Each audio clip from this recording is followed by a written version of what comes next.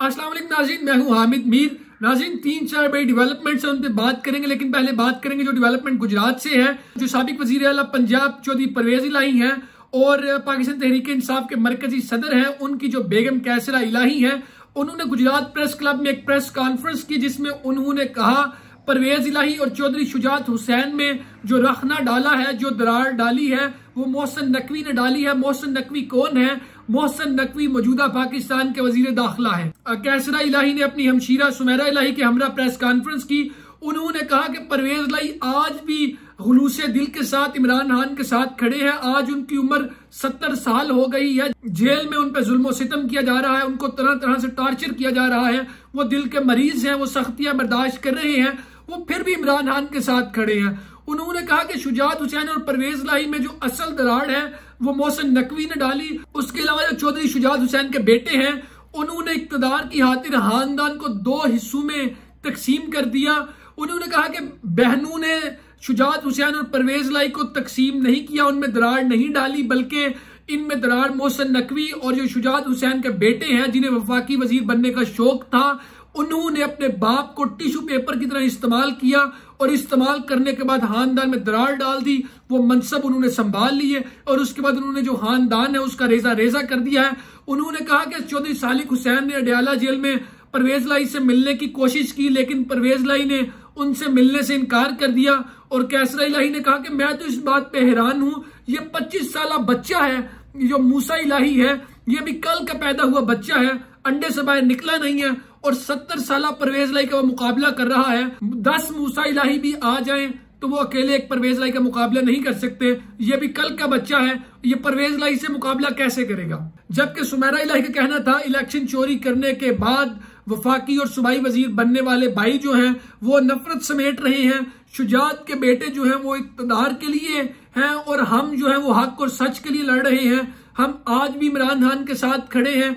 हम तरह तरह की सख्तियाँ और सहूबतें बर्दाश्त कर रहे हैं, वो हम बर्दाश्त कर लेंगे। लेकिन हम इमरान खान के साथ खड़े रहेंगे। मोनसिला इमरान खान के साथ खड़े हैं परवेज ला इमरान खान के साथ खड़े हैं और हम इमरान खान के साथ खड़े रहेंगे। नाजरीन, दूसरी बड़ी डेवलपमेंट ये है, जो शाहिद हकान अबासी है, पाकिस्तान मुस्लिम लीग नून के सबक सीनियर रहनुमा, उन्होंने अपनी पार्टी बनाने का ऐलान कर दिया है। आज वो इलेक्शन कमीशन ऑफ़ पाकिस्तान में गए थे। और इलेक्शन कमीशन ऑफ़ पाकिस्तान में उन्होंने नई सियासी जमात की रजिस्ट्रेशन के लिए जो क्वाइफ हैं, वो इलेक्शन कमीशन को जमा करा दिए हैं। और जितने भी मतलूबा दस्तावेजात होते हैं, वो उन्होंने जमा करा दिए। इलेक्शन एक्ट 2017 के मुताबिक जो सियासी जमात है उनकी रजिस्टर हो रही है। और शायद हकान नबासी ने कहा कि आइंदा इंतबात में हम नई जमात के तहत इलेक्शन में हिस्सा लेंगे और भरपूर तरीके से हिस्सा लेंगे और हम इलेक्शन जीतेंगे भी। नाजीन ये ऐसा मौका है जब पाकिस्तान मुस्लिम लीग नून के जो बड़े बड़े सियासतदान हैं, वो मुतनफर होते नज़र आ रहे हैं।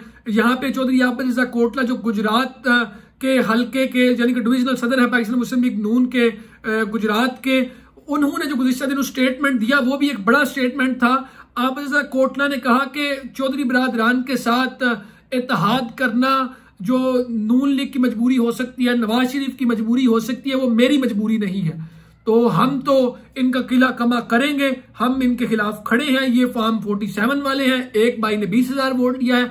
एक ने सात हज़ार वोट दिया है। ये कैसे वफाकी और सुबाई वज़ीर बन सकते हैं? हमारी आवाम ने हमें इनके खिलाफ वोट दिया है और ये कैसे ऐसे कर सकते हैं?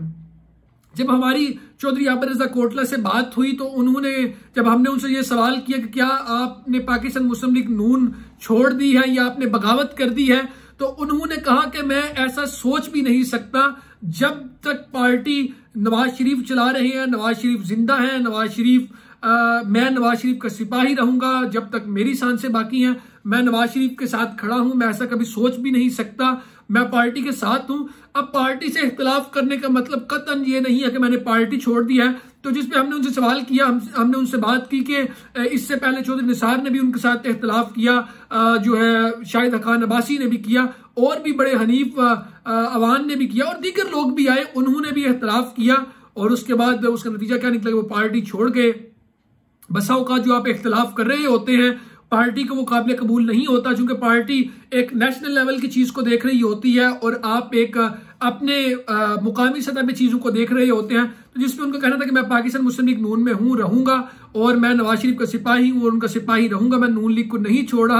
लेकिन हल्का में जो बाजगश चल रही है वो यही है कि जो आबर रजा कोटला है उन्होंने पाकिस्तान मुस्लिम लीग छोड़ दी है उन्होंने बगावत कर दी है।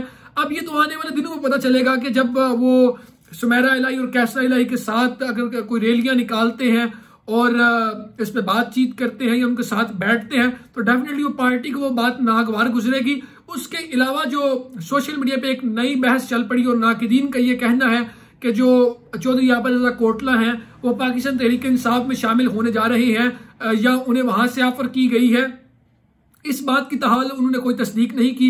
उन्होंने कहा कि ऐसी कोई बात नहीं, मैं इमरान खान का मुखालिफ हूँ, मैं इमरान खान का मुखालिफ रहूँगा, मरते दम तक उसका मुखालिफ रहूँगा, और मैं ये कतन सोच भी नहीं सकता कि मैं पाकिस्तान तरीके इंसाफ को ज्वाइन करूँगा, वो झूठों की जमात है, और वो उन लोगों की जमात है जिनका ना कोई सर है, ना कोई पैर है। तो ये उन्होंने गुफ्तगु की। तो नाजरीन, इस बात से तो ये जो उन्होंने स्टेटमेंट दिया उस बात से अंदाज़ा लगाया जा सकता है कि वो किस रास्ते को अपनाने जा रही है। और पार्टी को, पाकिस्तान मुस्लिम लीग नून को ये बात कतन पसंद नहीं आएगी जिस तरह उन्होंने स्टेटमेंट दिया है। लेट सी इस पर जब उनकी एग्जेक्टिव कमेटी का इजलास होता है तो वो इस पर कैसे देखते हैं? क्योंकि आमिर कोटला के लिए ये बात एक शॉकिंग चीज़ है कि ना तो उन्हें सूबाई गवर्नमेंट में, ना उन्हें वफाकी गवर्नमेंट में कहीं पर एडजस्ट किया गया। हालाँकि ये सीट वो किसी हाल में हार नहीं थे सकते जिस तरह की यहाँ पे उनकी सिचुएशन थी। गुजरात में बाकी सीट्स पे तो सूरत हाल उनकी डगमगा रही थी। लेकिन ये सीट ये तकरीबन जीते हुए थे। जो एंड तक के रिजल्ट्स थे, जो चौधरी लियाज है, उन्हें एक प्रॉपर कंपेन के तहत जितवाया गया। नाकदीन का ये कहना है जो है मुबैना तौर पर उन्हें जितवाया गया, उसके पीछे बड़े हाथ थे, बड़े लोग थे, और जिन्होंने जितवाया, वो आप भी जानते हैं और हम भी जानते हैं।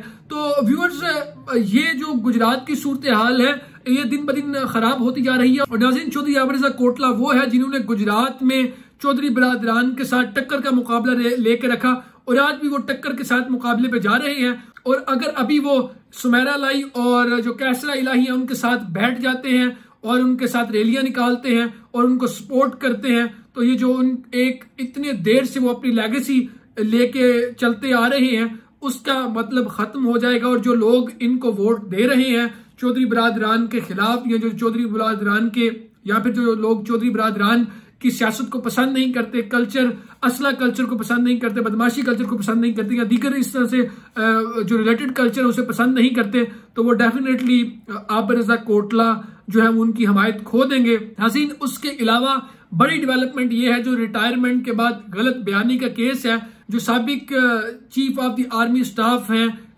कमर जावेद बाजवा उनके एतराजात पर इस्लामाबाद हाई कोर्ट ने नोटिस जारी कर दिया है। इस्लामाबाद हाई कोर्ट के चीफ जस्टिस आमिर फारूक ने रिटायरमेंट के बाद कानून की खिलाफ वर्जी, लापरवाही और गलत बयानी के केस की समात की, जिसमें कमर जवेद बाजवा और फैज हमीद और दीगर के खिलाफ अंदराज मुकदमा की जो दरखास्त है, उसकी समात की गई।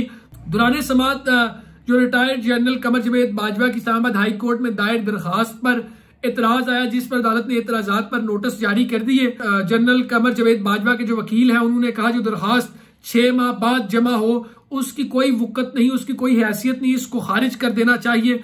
इस पर एफ़ आई ए ने अपना मौकफ दिया है कि दरखास्त आ गई है तो उसको कानून के मुताबिक देखकर ही फैसला करेंगे। इस्लामाबाद हाई कोर्ट का यह कहना था।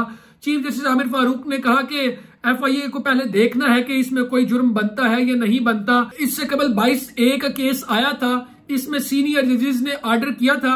जिन सीनियर जजेस ने आर्डर किया, वो मैं नहीं करता। इस पर अदालत ने एफआईए में दायर दरखास्त पर एफआईए को कानून के मुताबिक फैसला करने की हिदायत करते हुए एतराजात पर नोटिस जारी कर दिए और समाज को जो है वो गैर मुआयना मुद्दत तक के लिए मुलतवी कर दिया है।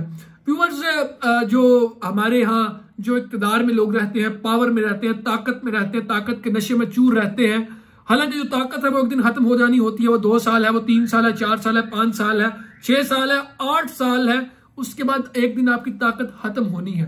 और जब आपने जेर होना है तो आपको जवाब देना पड़ेगा आप कहीं ना कहीं आ, किसी जाल में फंस जाएँगे।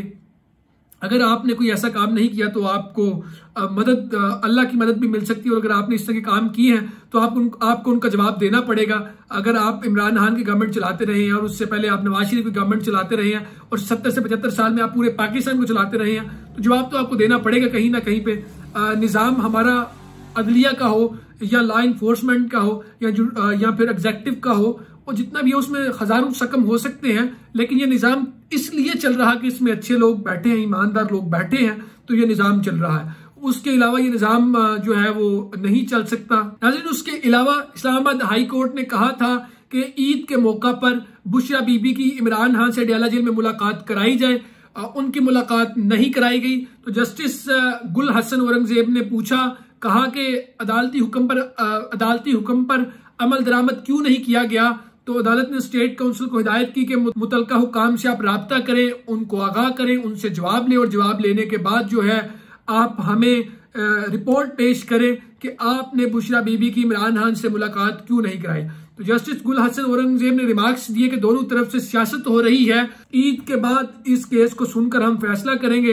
अजीन, आपको पता है कि इससे पहले इस्लामाबाद हाई कोर्ट ने बुशरा बीबी की इमरान खान से मुलाकात कराने की हिदायत की थी। और दोनों की ईद पर मुलाकात कराने का हुक्म भी दिया था। अब चूँकि उनकी मुलाकात नहीं कराई जा रही, नहीं की, कराई गई तो उस पर अदालत ने कहा है कि रिपोर्ट पेश करेंगे कि आपने क्यों जो है उनकी मुलाकात नहीं कराई और आप तुहीन अदालत क्यों कर रहे हैं। नाजीन, आज की बड़ी डेवलपमेंट्स ये थी, लेकिन जो गुजरात से डेवलपमेंट है, जिसमें कैसरा इलाई और सुमेरा लाई ने जो बातें की हैं, वो बिलाशुबा एक बड़ी बातें हैं। और आप सब जानते हैं कि जो चौधरी बरादरान है, वो गुजरात का एक ऐसा बड़ा नाम है, जो किसी से भी पोशीदा नहीं है, लोग सब जानते हैं, लेकिन जो मौजूदा सूरत हाल उनकी चल रही है, वो एक जिस तरह कहते शराजा बिखर गया है उनका, और मोनस इलाही बाहर है, हुसैन इलाही भी अपने वालिद से नाराज़ होकर बाहर के मुल्क जा चुके हैं, और वो इस बात अपने वालिद से नाराज़ है, वो पीटीआई में रहना चाहते थे, उन्हें यहाँ पे लाया गया, वो जीते, और उन्होंने नून लीग को वोट दिया सदारत के लिए उन्होंने आसिफ जरदारी को वोट दिया तो वोट कास्ट करने के बाद हुसैन अली वालिद के साथ नाराज़ होकर बाहर चले गए हैं। तो नाजरीन, ये इलेक्शन होने जा रहे हैं। ये कोर ये मैदान है। लेट्स गुजरात से कौन जीतता है। मूसा लाई जीतते हैं या परवेज लाई जीतते हैं। या फिर पिछली दफ़ा वाला मामला होता है कि जीतेगा कोई और, रात को कोई और जीतेगा और दिन के उजाले में कोई और जीत जाएगा। व्यूअर्स अभी तक की जो बड़ी अपडेट्स थी वो यही थी। मजीद खबरों तफसीत के लिए काइंडली आप हमारे साथ कनेक्ट रहें और कमेंट सेक्शन में अपनी राय का इजहार ज़रूर कीजिए। और हमारे चैनल और पेज को सब्सक्राइब और लाइक ज़रूर कीजिए। नाजीन मजीद अपडेट्स तक के लिए हमारे साथ कनेक्ट रहें। तब तक के लिए हमें दें इजाज़त। अल्लाह निगेबान, पाकिस्तान, जिंदाबाद।